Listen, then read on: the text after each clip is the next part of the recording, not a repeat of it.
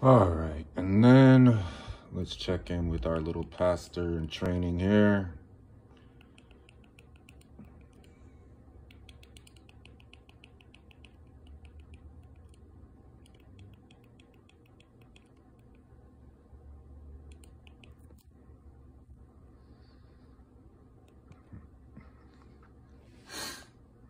Great Big Holiday Sale to save on everything you need to make the season magical. Hurry, sale ends December 6th. Hey there.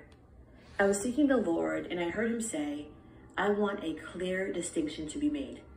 And I saw a vision of what looked like a parade in my spirit. The banners and those holding the banners really stood out.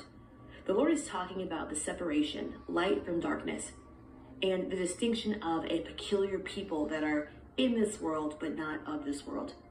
He wants a clear distinction to be made.